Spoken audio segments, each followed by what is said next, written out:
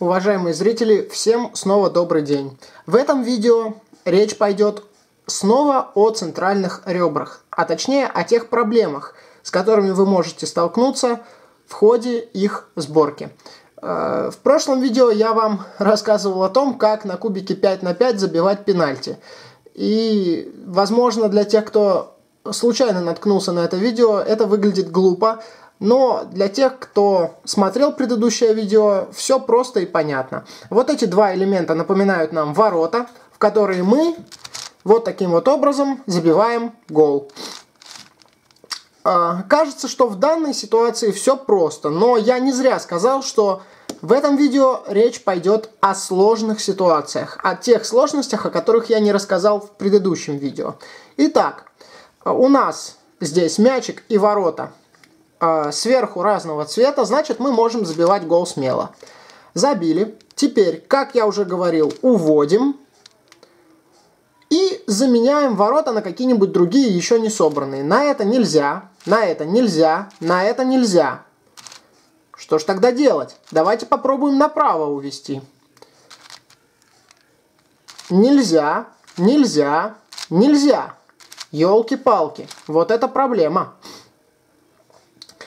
Вот именно об этой проблеме я и хотел с вами в этом видео поговорить. Дело в том, что сейчас мы уже находимся на такой стадии сборки кубика 5 на 5, когда практически все ребра уже собраны. И нам очень сложно найти какое-то несобранное. Вот в такие моменты я настоятельно рекомендую вам перед тем, как бить пенальти, то есть крутить средний слой, найти то самое ребро, на которое мы можем заменить вот эти ворота и поставить это ребро вот сюда, спереди. Сейчас поймете, почему именно спереди. Итак, вот наши ворота, вот наш мяч, да? Но нам нужно найти еще такое место, на которое мы потом можем поменять вот эти ворота. Идеально это когда это место находится либо слева, либо справа. Но, как вы уже поняли, здесь уже все собрано. А нам нужно найти что-то несобранное. И вот это самое несобранное у нас оказалось вот здесь, сзади. Что мы с этим делаем? Мы его сзади переставляем вот сюда. Слева спереди ставим его. Знаете зачем? Чтобы точно видеть, на что мы будем менять вот это ребро. Если вы не нашли ничего подобного, тогда это уже другая ситуация, о которой я расскажу буквально через пару минут. А с этой ситуацией, я думаю, мы разобрались. Значит, мы забиваем гол, уводим ворота, замещаем, уводим на место и восстанавливаем центры. Ну и вот какая картина у нас получилась. То есть, грубо говоря, цель мы выполнили. Остались, правда, еще вот эти два ребра, но тут немножко другая ситуация. Ладно, Теперь давайте думать, что же нам делать в следующих ситуациях. Сейчас я эту ситуацию выведу. Вот она. Смотрим. Вот наш, наши ворота. Вот он наш мячик. Теперь давайте попробуем найти то место, на которое мы можем поменять эти ворота. Слева нет ничего, справа нет ничего, и здесь нет ничего. Вот так проблемка. Что же нам делать? Проблема в том, что у нас осталось всего лишь две, два несобранных ребра. А для того, чтобы продолжить сборку тем же методом, о котором я рассказывал, придется точнее не придется, а нужно иметь как минимум три несобранных ребра, как было в предыдущей ситуации. Надеюсь, сейчас все то, о чем я говорю, совершенно ясно и э, не вызывает никаких сомнений, никаких вопросов. Если это не так, то, пожалуйста, пишите, и я буду с этим что-то делать, стараться сделать так, чтобы все все поняли. Итак, у нас осталось два последних ребра. Тут надо четко понимать, а, то ли эти ребра собраны, но собраны неправильно. Как, например...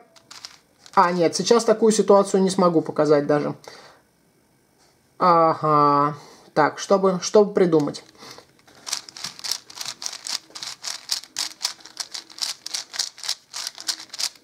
Вот, посмотрите, пожалуйста, вот это ребро и вот это ребро они кажутся не собранными, но на самом деле здесь все элементы стоят на своих местах. Вы должны чувствовать четкую разницу между таким случаем, когда два ребра имеют на местах все элементы, только неправильно поставленные. Или вот еще одна ситуация, когда ворота есть, а мячик между ними совершенно другого цвета, не желто-синего. Вот эти две ситуации решаются совершенно по-разному. О том, как решать такую ситуацию, когда все на местах, но перевернуто, я расскажу попозже. А сейчас расскажу о том, как решить вот такую ситуацию.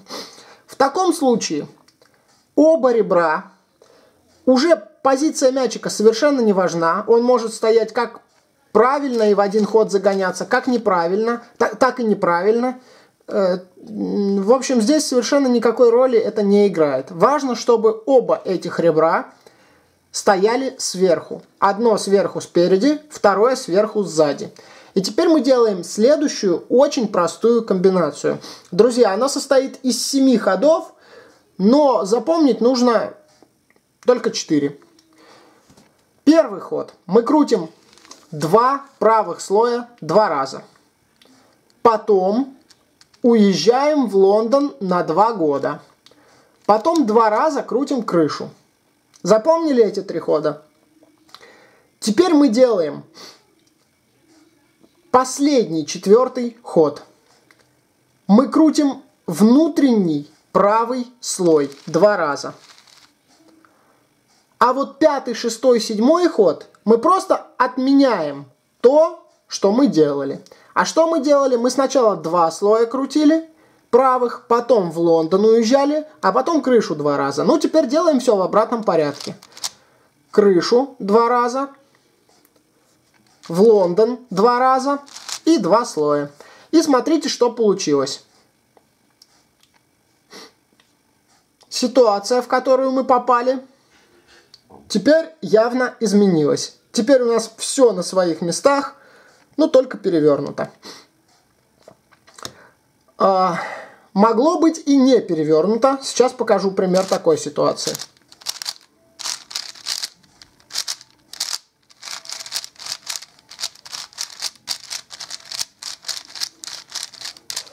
Вот, например, вот она такая ситуация. Внешне, кажется, ничем не отличается от предыдущей. Единственное, мячик мы здесь не сможем загнать. Как здесь быть? Да точно так же когда у нас уже не осталось ничего, а, что мы можем на что мы можем заменить вот эти ворота, да, грубо говоря, когда у нас осталось только двое ворот, мы делаем ту же самую комбинацию.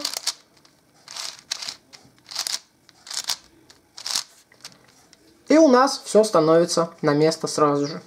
Ну вот, и теперь расскажу о таких ситуациях, когда все уже на месте, но как-то перевернуто.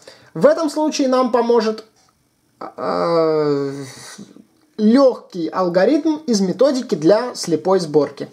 Что это за алгоритм? Это алгоритм, который переворачивает вот эти два центральных ребра.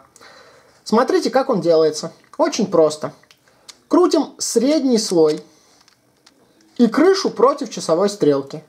Опять средний слой в ту же сторону и крышу против часовой стрелки и опять средний слой в ту же сторону, а вот крышу уже два раза. Сейчас центры у нас немножечко перемешались, но вы этого не бойтесь. Запомнили, да? Мы сделали 6 ходов, почти одинаковых. А вот теперь средний слой мы начинаем крутить в другую сторону, а крышу в ту же, также против часовой стрелки. Последний раз и крышу два раза. И вот что получилось. Все перевернулось и встало как нам надо. Вот теперь у нас все центры собраны, ой, центры, все ребра собраны, ну, я имею в виду ребра, состоящие из трех элементов. И мы можем приступать к сборке 5 на 5, как 3 на 3. Но я вам все-таки не рассказал еще об одной ситуации.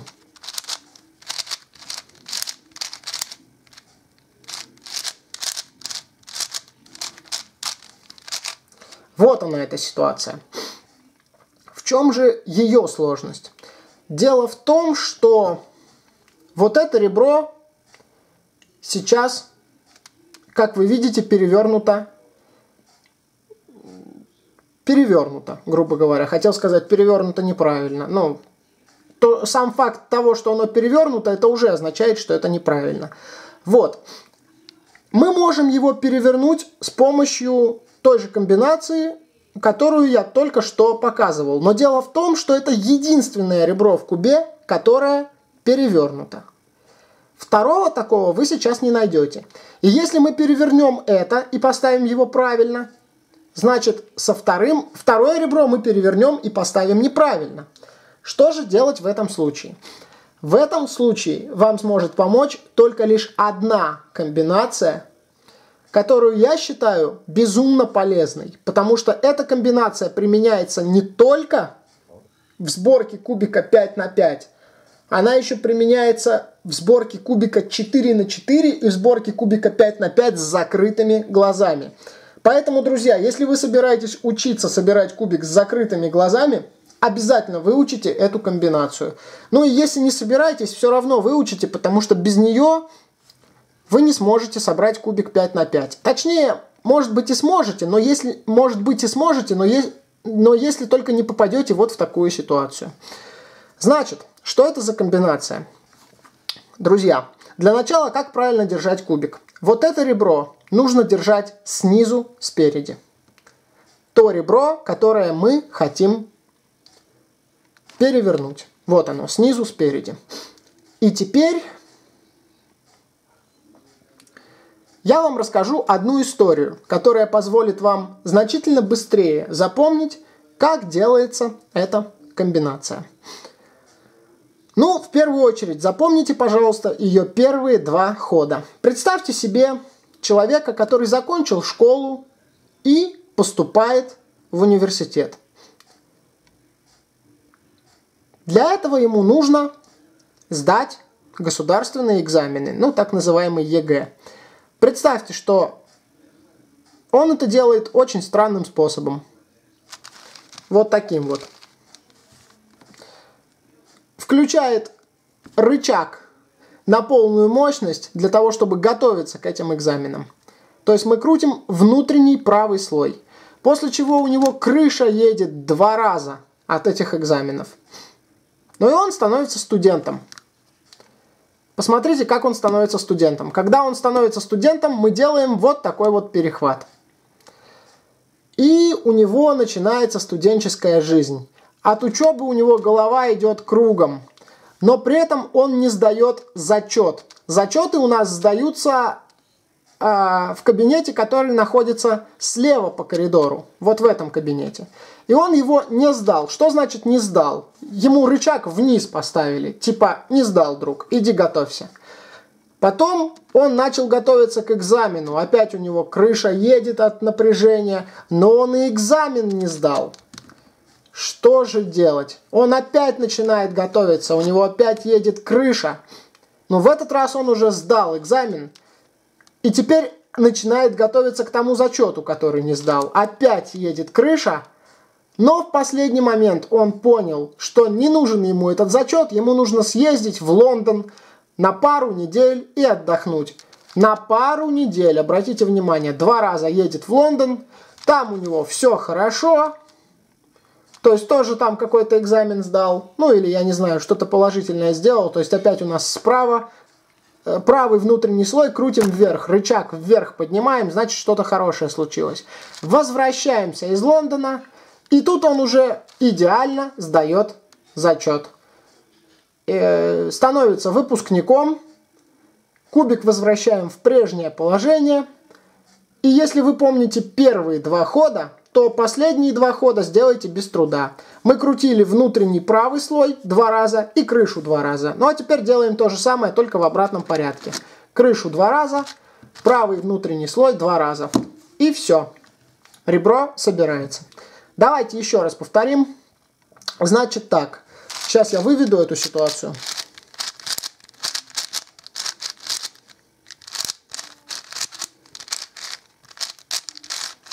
Вот она. Вот оно, наше ребро, единственное перевернутое, не вписывающееся ни в какие рамки. Что мы делаем с этим ребром? Ставим его спереди снизу И вспоминаем, что нам надо сдавать экзамены. Экзамены мы сдаем вот таким вот движением. И от экзаменов у нас едет крыша. Так, теперь начинается студенческая жизнь. Вот такой вот перехват. Крыша едет от подготовки к зачету, но зачет не сдаем. Крыша едет от подготовки к экзамену, но экзамен не сдаем. Опять крыша едет от подготовки к экзамену, но на сей раз удачно. И теперь надо сдать зачет. Опять едет крыша, но в последний момент решаем, да нафиг нам этот зачет, поехали лучше в Лондон. Едем в Лондон на две недели, там делаем что-то хорошее, опять включаем рычаг справа, поднимаем себе настроение, возвращаемся из Лондона, теперь с легкостью сдаем зачет уже безо всякой подготовки, возвращаемся к прежней жизни, то есть кубик ставим в прежнюю позицию, крыша едет два раза и правая грань становится на место. Это все, что касается ребер. Друзья, если непонятно, пожалуйста, пишите, я исправлю это видео. Мне ничего не стоит переписать это снова, только объяснить уже так, чтобы всем было понятно. Вот. Что следует дальше после всего этого? Давайте, кстати, назовем эту комбинацию, которую я только что показал, словом «студент». Пусть это будет комбинация «студент». Э, в 4 на 4 у нас была комбинация «шпион» и комбинация «предатель», а здесь будет комбинация «студент». После этого этапа следует сборка кубика 3 на 3. И сообщаю вам радостную новость. Если в четверке нас ждали сюрпризы в виде комбинации шпион и комбинации предатель, да, у нас были так называемые паритеты на этапе OLL и на, на этапе PLL, то здесь всего этого не будет. Поэтому мы можем смело собирать кубик тем способом, которым мы умеем это делать. Я имею в виду собирать кубик 5 на 5 уже тем способом, каким мы собираем 3 на 3. Если вы вдруг не умеете собирать кубик 3 на 3 и все равно решили посмотреть это видео, советую вам все-таки, настоятельно советую сначала научиться собирать 3 на 3, а потом уже переходить к просмотру этого видео и учиться собирать более сложные головоломки, такие как вот этот кубик, который я держу в руках. Как вы видите, F2L я уже сделал и доделываю OLL. OLL тоже сделал, и остается сделать только последний этап.